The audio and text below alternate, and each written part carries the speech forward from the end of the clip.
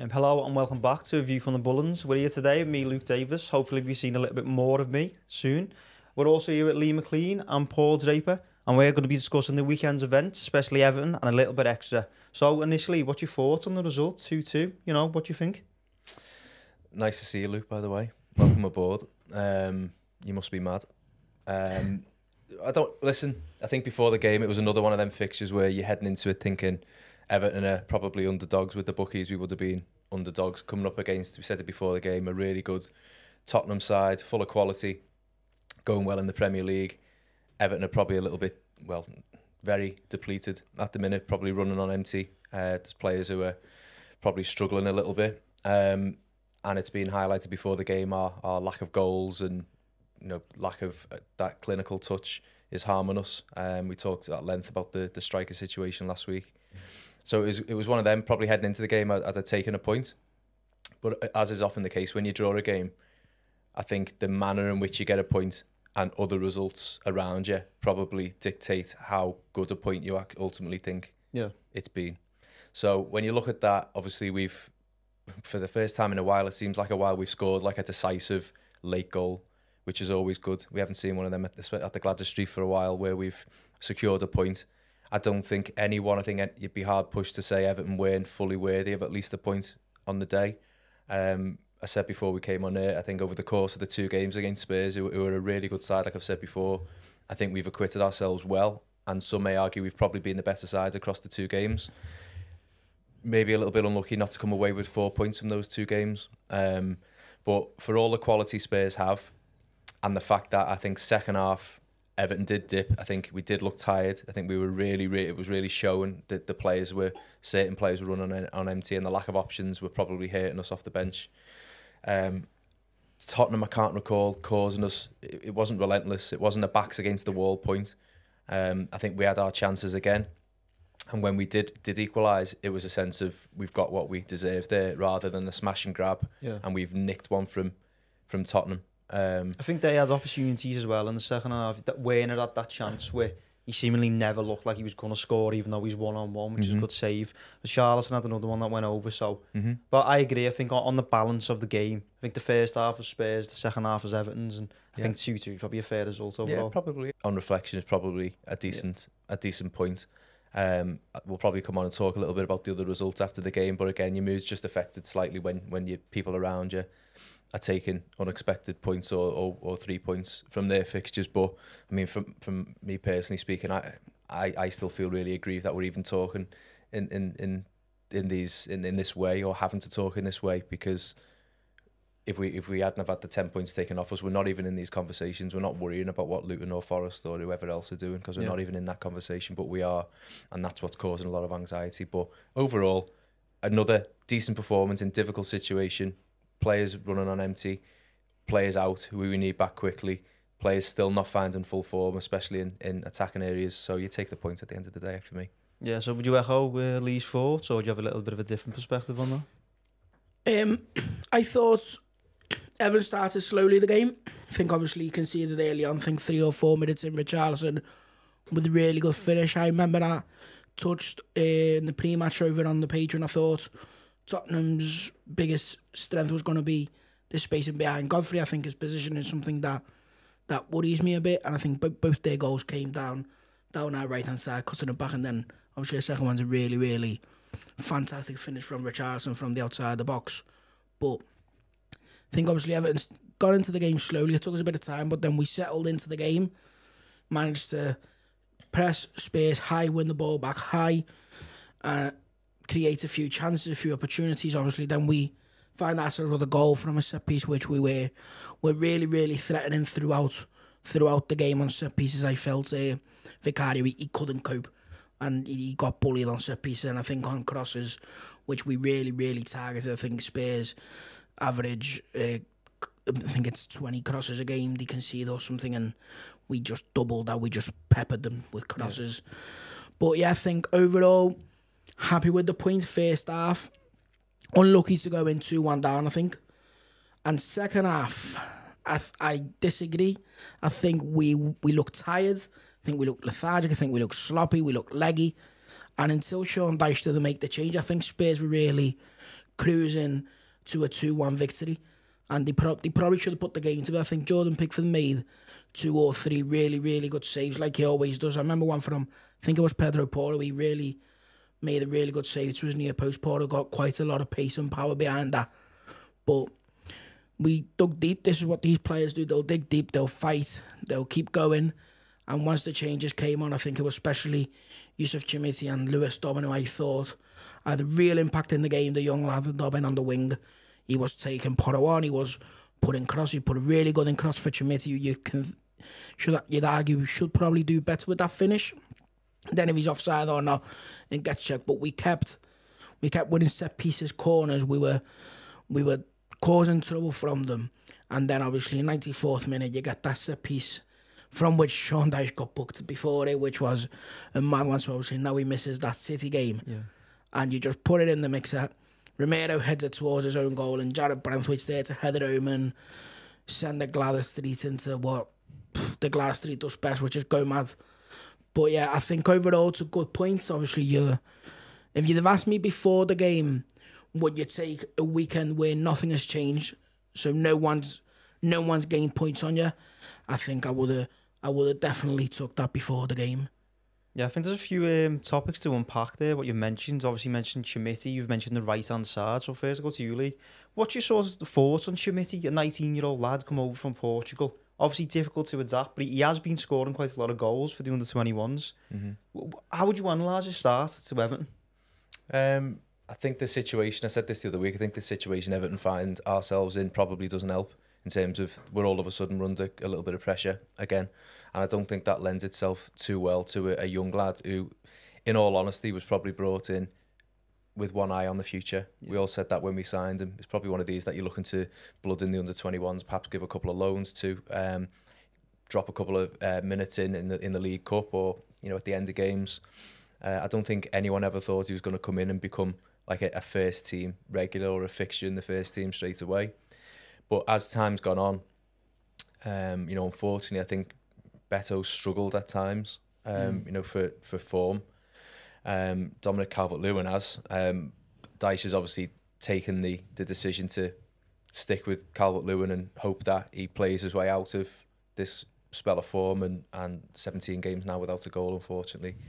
Um, so it may be a case where Chermiti starts getting a, a few more chances because when he's come on, he does look lively. He looks he looks pacey. He looks energetic. Still very very raw. You know he's by no means the the finished finished article.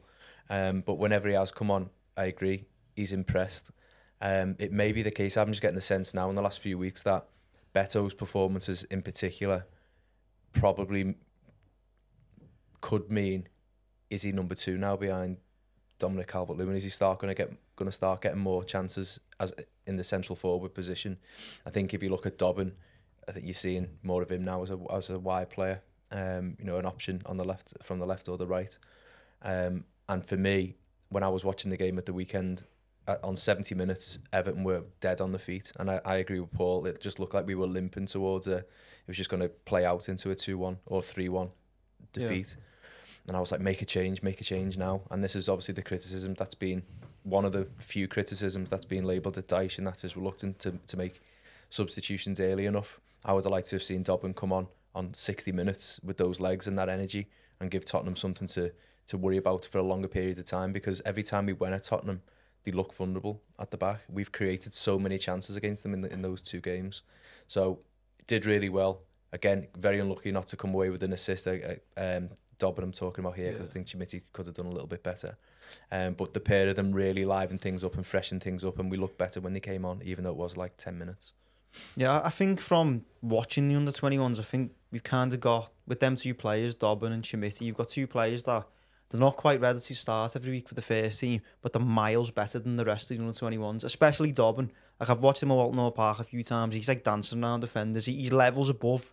And we've seen little aspects of that in the game against Spurs, but it's whether he can now do that for the 90 minutes because he scored that goal against Chelsea and he thought, oh, that'll be real lift off for him. But he hasn't really done much since. He hasn't really been given that much of a chance. I don't know what you think 53 about. minutes, he said, since Yeah. We talked about it last week. He's had 53 minutes since that goal, and, and 45 of that 53 was the second half against Burnley away. Yeah. So it's like eight minutes. He hasn't really been given a chance, has he? Yeah, and then the other top of the ones as one pack was you mentioned the, the right hand side. Like, what do you think's next for for Nathan Patterson? Because obviously you've got Coleman there, Young can play there, Godfrey on the weekend. It's sort of anyone but Nathan Patterson at the moment. Well, I think we've had this discussion for a long time, especially over on over on the page, and we Sean Dyche clearly doesn't trust Nathan Patterson at this moment in time. Whether you feel that's fair or not fair, I think that's that's a discussion, a different discussion. I think there's been chan- there's been times where Nathan probably deserved a, more of a chance or of run of games. He hasn't had uh, the best start to his Everton career that he would have imagined. Obviously, he's had a few injuries, especially last season. This season, when he has been fit, he hasn't really featured. Um, I mean, right now, for Dyche, is he is he Everton's fourth choice right back behind Coleman, Ashley Young, and even centre half who was rumoured to be leaving the club in the in the January window in Ben Godfrey. You, you, it, it's difficult, and we've said he needs minutes, he needs he needs time. He can't. He has got aspects to his game where he can be a valuable asset to Everton, may that be playing or improving out on loan and then being sold, or however maybe he has got attributes to become a valuable asset to this football club. But for me personally, in this moment in time, he, he's not he's not good enough to play in the Premier League in in the predicament that we're in. I think on a Dyche team, especially, he's not good enough defensively for me. I think he switches off too much, and I don't think he offers you as much going forward to kind of risk that defensive weakness that would that will come into the team. It's not like, for example, when you go to other right backs and they're brilliant. For example, Mykolenko, let's say, he's fantastic defensively, but he's not as good going forward.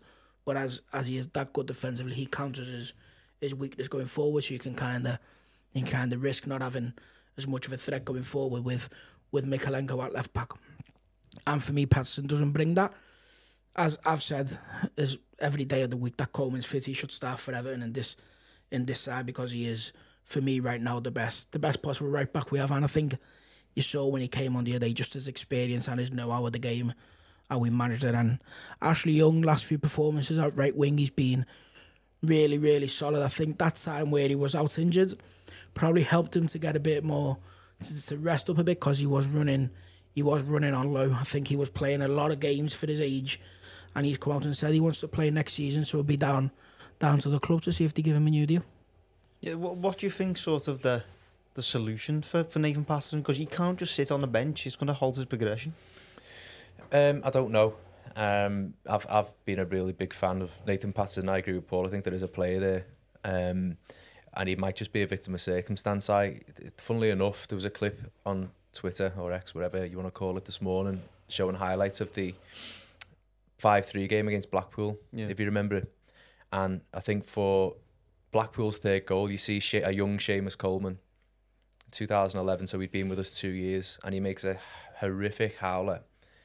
And it wasn't uncommon back then. I think he was very raw himself, and he and he wasn't a polished diamond in terms of defensively. Seamus Coleman when he first came in, but what he had, we had the luxury of much better attacking talent. He was playing in an Everton side that had more possession. There wasn't as much reliance to be absolutely solid and do your job because we've got this acceptance that we're not the most expansive or gifted or creative team going forward. So I think Paul's right. I just think it's a trust issue. Sean Dyche needs to know that the four or five, wherever he goes with, defenders at the back are going to be able to play in the way he wants them to play, are going to be able to contain, are going to be able to remain disciplined and switched on for nine. It's it's 100 minutes these days Yeah. And not allow themselves that lapse in concentration. Because as much as I like Nathan Patterson from, I think his, his physicality, how, how athletic he is, I love the, the Glaswegian in him. I love the fact that he's a bit snidey and he's in people's faces. All of those are, are, are boxes ticked. And when we've been on good runs of form and he's been playing and we and confidence is up, he looks a much better player. But when our backs are against the wall a little bit, that's when I worry about Nathan Patterson. And that's when I think Sean Dyche looks at it and goes, no, I need a steady Eddie. I need someone I can absolutely rely on to form part of that back four. So I just think at the minute it's just not happening situational wise for Nathan Patson. I think probably alone in the summer because our situation could change quite quickly. You know, so what type of club do you think alone now? Another Premier League team, abroad, a Championship team? I Is that too low of a level?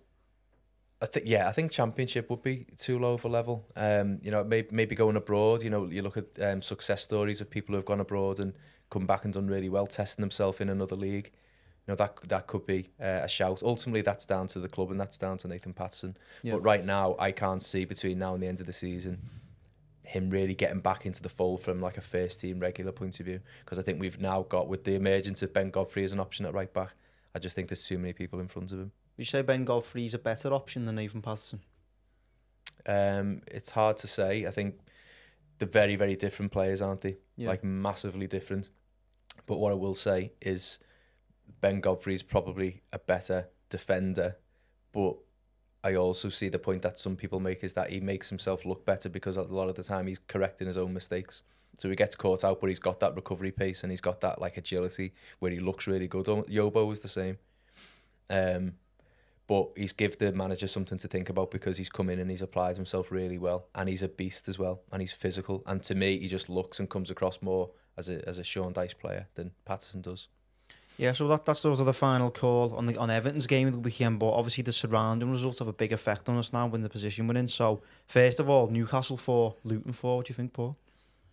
Well, I mean, don't know what, don't know where Luton are pulling these these goals out from. There, obviously, I think going into the weekend, you thought, okay, yeah, that's a game where you'd expect Newcastle to to win a solid outfit at home. I think they got quite a few players back, although they haven't been performing maybe to the best of their ability lately. But they're solid at home. Luton maybe don't have that comfort of playing at at their home pitch tight, make it horrible for them like they did against Brighton. But and when they take the lead, Newcastle, you think, okay, yeah, they'll cruise now, maybe 2 3 nil win. But credit to Luton, they just don't stop believing and they don't stop fighting and they're not going away anytime soon. It doesn't seem, I think. Obviously, they've got Ross Barkley in midfield who's playing the football of his life. I think he hasn't played this level of football since since Martinez's first year at Everton, probably, and he's kind of made himself kind of change his game. He's obviously plays more deeper now. He controls the game more instead of being that powerful number 10 that would just burst through with runs into the box, leaving one or two players behind and, and having a shot from distance. And now he just controls the game much more and he seems to be making much better decisions on the ball. But Luton will be disappointed to not come away with three points. I think that's them two Newcastle goals are quite big in the in the fight. I think um, they'll they may have had a bit of a, a bit of a kick with that because they'd thought, okay, we beat Brighton four 0 now we're four two up at Newcastle. You'd expect them to to win that game really. I think with twenty minutes to go or so, you will. But it's one of them. This is the Premier League. Anything can happen. As as again as we've seen with Luton, they're not going anywhere. I think the weekend for Luton is a big game because I think one of my mates made a good point. It's the first time in the Premier League Luton have got they're expected to win the game. They're not. They're not going to be obviously underdogs as they have been really all season. They got Sheffield United at home, and you expect Sheffield United to kind of play the way that Luton would want to play, sit deep, make it horrible, try and nick one in a set piece or long balls. Chris Wilder with obviously three centre halves, and it'll be interesting. Obviously, you expect Luton to win due to Sheffield United. They've been they've been poor again, four five nil down the other day at half time. It, they they've been real poor. I think when they lost, I think it was Ndiaye and Sander Berge early in the window, in the summer window. You just thought they're not going to replace these. They they're banging trouble. And Chris Wilder, although they got they got beat heavily the weekend, he's brought them a bit of pride back. Obviously, he knows what it what it is to manage Sheffield United. He's he's Sheffield United through and through, and and he's he's managed them successfully in the Premier League. That first season when they came up and they were really really solid until COVID until COVID hit. So yeah, it'll be it'll be interesting to watch that game. But with Luton, they're not going nowhere anytime soon. Yeah, and obviously then Bournemouth won, Forest won. Not the not the biggest result, not the worst result. So how do you Mhm. unpack that one, Lee? I, I, didn't watch the game uh, and I've not, not really seen the highlights, but um, again, yeah, it, Luton's the one everyone's talking about. With but with Forest, I still think they're very much in the mix. I think them Crystal Palace are the ones who are dropping like a stone uh, at the minute as well. Twenty four points, but can't can't seem to buy a win. There's a lot of uproar around the manager. Um, Forest are a funny one because we go there, deservedly come away with a one 0 They're awful at the back. Um, but they just they've got power players and they've got players who, if they hit streaks of form, you can see them winning home games and stuff like that. So it's, there's going to be ebbs and flows. There's going to be weekends where results go for us, results go against us. It's still grating on me that we're even having this discussion again for the third year running. It's becoming really tiresome having to worry about the, the these sort of results. But I think with these teams, the the Luton as as the example, they're in a purple patch. This is their little run. But it, in all reality, if you look at their ability over the course of a season, they're not going to be able to sustain this level over the next 15 games. They're not going to they're not going to maintain a 60 odd percent win rate as, as if you look at the like the last six games that they're on now. They're just not.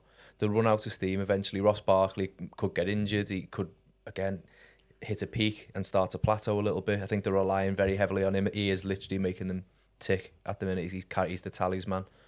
Um, and Everton, don't forget, while all this has been going on, I've been really hard done to in terms of of injuries. I think we've been impacted heavily there. Um, not being able to bolster the squad in January for obvious reasons, I think that is, is a big blow as well. But we will, I think, I believe, we'll hit another little mini purple patch as well. We've still got that to come. Our fixtures will start looking a little bit kinder again once we get this weekend out of, out of the way. Um, and then all of a sudden, it's us putting pressure on on the teams down there again. Um, so fair play to Luton. Listen, they've, they've, they've, they were written off, absolutely written off by everyone earlier in, in the season. Um, but that man, the manager's done a really, really good job in that transition from winning every week in the championship and, and coming up, and you've got that feel good factor to then getting used to being on the losing side of things most weeks, which must be really, really difficult to then to then re-galvanize a group of players and get them going again. You know, you've got you've got to give them credit, but do I think it'll last? No, probably not. Um, and if I was a better man putting 50p on it, I still think Everton will finish above Luton at the end of the season. I'd agree with that. I think I think Forest are the ones where they still look like a Premier League team. They've got them little gems of quality. Gibbs-White'll, you score a 30 yard scream and they'll win 1 0 at home. But I think, whereas you look at a Barkley, I don't think he's quite at that level. Although he is in a great vein of form, I think he, his throughout his career, he's had a tendency to be in form and then drop out of form, mm-hmm. and he just doesn't exist anymore then mm-hmm. for a few mm-hmm. games. But yeah, hopefully Everton do hit another purple patch. But I think you've just mentioned then Crystal Palace. I think they just seem like a football club in free fall. Like it's sort of like Roy's on the brink every week of being sacked, and he might get an half decent result. Oh, and then he's still there the next week. But so, what's your thoughts on them, Paul? Like, just a caveat that, like, is do you think Hodgson will eventually go soon, or do you think he's going to hang on till the end of the season? I think the only way uh, Roy hangs on is if they start getting results, and unfortunately for him, I don't feel like that's going to happen. I feel like the scenes after the game against Brighton, obviously their biggest, their biggest game of the season, down in the Amex. It was like when we played Brentford a few years ago. Eh, it was just missing the Hey Jude in the background.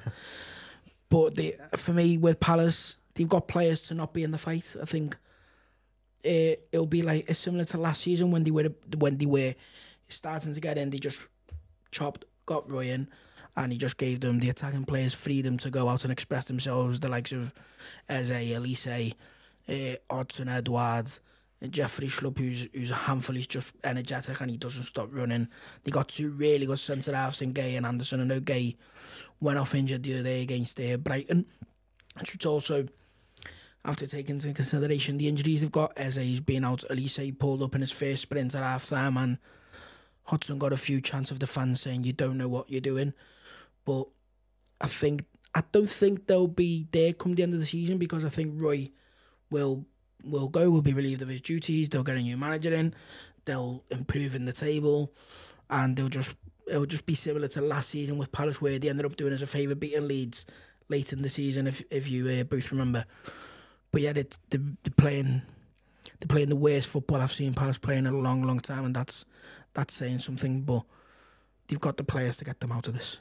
When when do you think they do it with Hodgson? Did he wait another five games, or did he do it now to stop the rot, or did he persist persist with him? Because I think Palace kind of have a little bit of loyalty to him now because he yeah. brought him back. Yeah, it's kind of a similar situation to last time, but the opposite. He's yeah. now in the Vieira position position yeah. where he's gone in and replaced him. But it's another. I think for managers at the moment as well, it's like who do you bring in?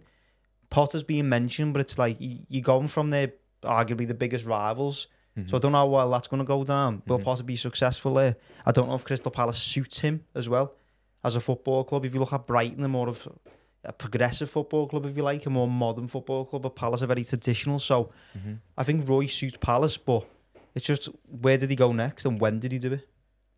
Well, I hope they do it after the 19th of February, because we've got them after City. Um, we were speak. I was speaking about this with my mates in in the pub at the weekend. Um, it's one of them where you want it to either happen now, so the manager's first games this weekend, or after after they play Everton. You don't want that new new manager bounce coming to Goodison.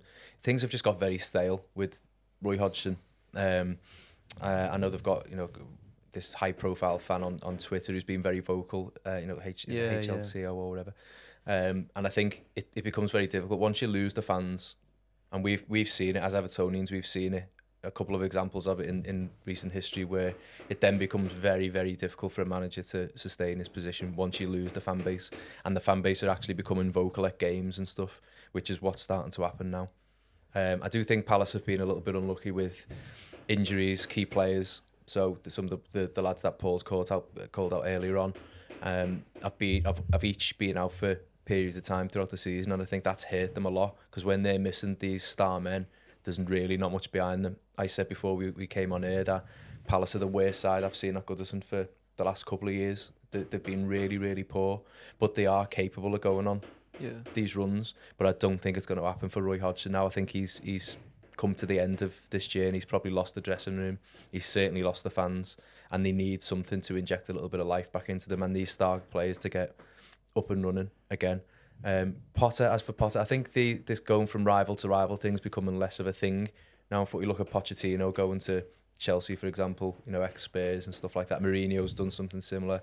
I think if if a decent job there, and Palace is still a decent I can think of another one as well, but I'm not going to say yeah, I'm not even saying it. like, I, Men in Black moment there, it's just been zapped from my memory. I never don't even want to think about it ever again. But if it's a decent job, it's still an attractive proposition. They've got some good players, haven't they? Um, and the, the, the, it's still a platform that gives a manager a chance to come in, especially someone like Potter who's wanting to sort of rebuild his reputation a little bit. It could be a good foot in the door for him to come in. Um, I think it'd be a decent appointment for Palace, but if they make it, I just hope it's after the 19th when they play us. Yeah, so two weeks until Palace for us, but first uh, the small matter of Manchester City at the Etihad. So, how do you approach this one, Paul? Like, is it is it a free hit? Um, no game really is a free hit. I mean, obviously, if there's anything as close to a free hit as probably Manchester City away, it's it goes without saying it's going to be a monumental task for Everton to to even get anything out of the game. Never mind, never mind win.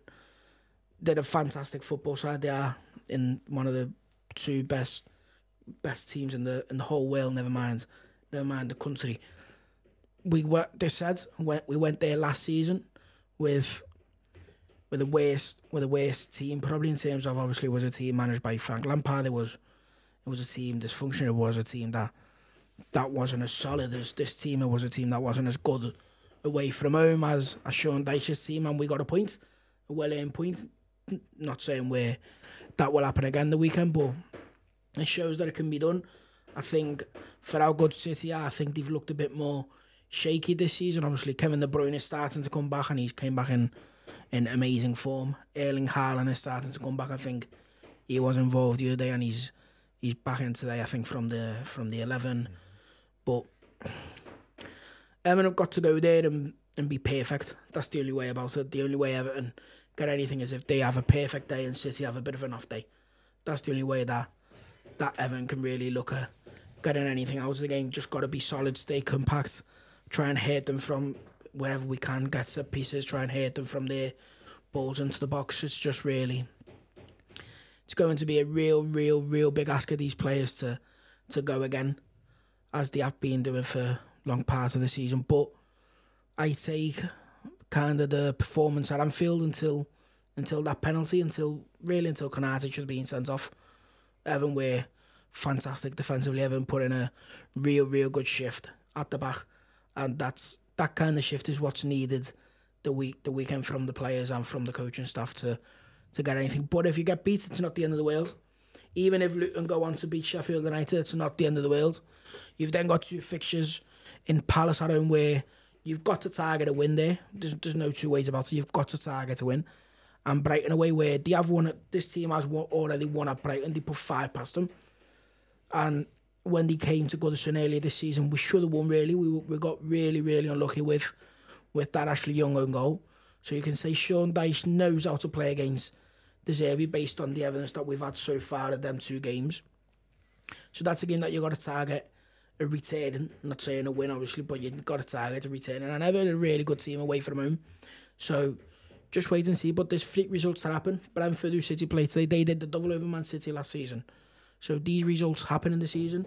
But as I say, Evan have got to play the perfect game. They've got to be absolutely spotless in their performance and they've got to sw- stay switched on for if the game lasts 100 minutes, they've got to be switched on for 105. They've got to be switched on when they get back in the shower still, because you never know with these teams that they are that good.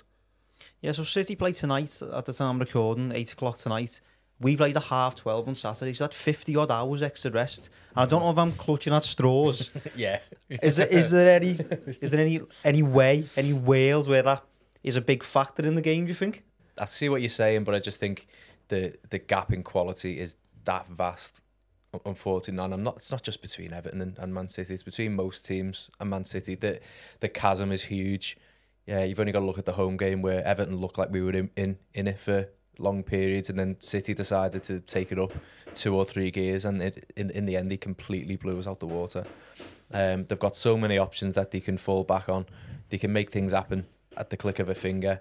Um, so you know, even if they even if they played the day before us, they could probably field with their strength in depth. They could field another eleven, which would still head into the game against Everton as favourites. So unfortunately, we have got to be perfect. It's got to be one of them where we need we might need another Demarai Gray type worldy to rescue something for us. We're going to have to be absolutely bob on defensively. We may need to take one of these chances. So Calvert Lewin, whoever else is, is playing up front, is going to need if, if a chance comes along, they're golden. We're going to have to take them. We're going to have to be really, really clinical and then hold on. But like like Paul said, the Everton's away record is right up there in terms of the top four or five best in the in the Premier League. Um, we're hard to beat. I can't see us getting absolutely blown away. We're massive underdogs. Yeah. Um, but it's not against the realms of possibility that we put in one of these real dogged professional performances and come away with something. I don't think it's impossible to get something there because we've mentioned Palace then. I think they mm-hmm. drew two all mm-hmm. because you were late penalties. So you can go there, and if you have a go, but not too much of a go because you can't be leaving them holes at the back because you'll just get slaughtered. Mm-hmm. But I think if you have a bit of a go because you can't, you can't sit it, you can't, you can't sit in because you're sitting up 95 minutes yeah. against City. They'll pick the two talented. They'll find the gaps and the spaces. You can't do it. So I think yeah. it is about getting that balance. It is about you know using the ball when we've got it. Um, you know, force and set pieces, for example. Um, I think sitting in against anyone's dangerous, but against Man City, it, it's like a three point suicide. Yeah. Mm-hmm. If I would have offered you maybe two points from the Spurs and the City game to come, do you think you would have taken that? Um, I think a lot of people were looking at the last three. Yeah, yeah. For Spurs and City, two yeah. points. Absolutely. Yeah, absolutely. Um, I think people were looking at the Fulham, Spurs, and um, City games as like a, a trio. Um, I, I'd have probably said three points out of those was what I was looking for. We're on two now, so a point against City gives us that return. Um, I was quite disappointed to not come away from Fulham with the full three points. That's probably where we've been shortchanged a little bit. But listen, if we end up getting a point at Man City, there, there won't you won't find one Everton fan complaining about that. Um, and you've got to remember that other sides down there. I've, I've still got to go to these places. So again, like Paul said there, even if Luton beat Sheffield United at home. It's not yeah. time for panic stations because the fixtures look different every single weekend. We're going to have bad weekends. Luton will have bad weekends. Uh, I think we'll have more good ones than Luton, and and a couple more of the teams down there before the end of the season. I think we'll be all right still. Yeah, so obviously tough game, but Sean Dyche must be having a headache because he doesn't really have that many options to be honest. But in terms of selection, like what you go for, do you go for the same again? Do you make some changes? I think it all depends on fitness levels of the rest of the players. Obviously, if Amadou Onana is fit to start for me, he comes into the 11. Just gives us much more balance, just gives us much more presence in midfield. If we want to try and bully Man City in midfield, if we want to try and be horrible and we want to try and kind of make it a physical battle, you, you need Amadou Onana. I think we missed him a bit the weekend against Tottenham and definitely against against Fulham when we had no other no other fit midfielder far from James Garner. The other big question mark would be the right back position. Do you stick with Ben Godfrey up against the likes of Doku, Grealish, Foden, whoever, whoever plays out there? Or do you go more experienced, maybe Seamus Coleman with Ashley Young in front of him? I think there's nine, nine, nine players that pick themselves, which would be the same, and the only big doubt would be who comes in midfield, who plays in midfield with James Garner and Idrissa Gana Gueye, and who plays at right back. I think for me, they are the the two biggest biggest question marks. And if it was right now, I'd go Seamus Coleman and Amadou Onana comes in for Dwight McNeil probably, and Ashley Young keeps his place at right wing because we're gonna need we're gonna need that uh, that that solidity defensively. Yeah, any final thoughts before we wrap up? No, I'd, I'd go with that. Um, I think Dwight McNeil looks really, really tired. Um, his legs don't look like they can carry him properly through games at the minute. Um, I think he could benefit, and he's done a job. He's been asked to come in and do a job for, for Everton in an unfamiliar position, and he's done okay. He's done fine, but obviously we're not seeing the best of him, and he looks really tired. So, if there's a chance to bring him out and and and Onana's fit, fine. Um, I think there, there could be an option to even give Dobbin a start and pull a Jack Harrison out, for example. Um, just very conscious of a of a really big game coming up against Palace the week after. And I'm not saying this is like, oh, you know, just drop players because it's Man City or whatever. I, I think that's just being tactical and sensible with a small squad and maybe targeting games that are clearly on the calendar very, very important and ones that Everton should be winning. Um, but it's going to be a tough ask. Uh, obviously, there'll be a podcast de- dedicated to um, you know before Man City, but looking ahead, it's it's it's a tough one, um, but one that a Sean Dyche Everton wouldn't surprise me going away and getting something just because of the way we apply ourselves and the way a Sean Dyche team are mentally and have proven themselves to be this season so far. Wouldn't wouldn't be as big a shock as it has been in the last couple of seasons. Put it that way. Yeah, so thanks Lee, thanks Paul, and more importantly, thanks you guys for listening at home. So if you enjoyed the show, why not head over to our Patreon or check out our website, www.theviewfromthebullens.co.uk for more pre-match, in-depth analysis, interviews, and everything an Everton fan would ever want, really. Thanks a lot.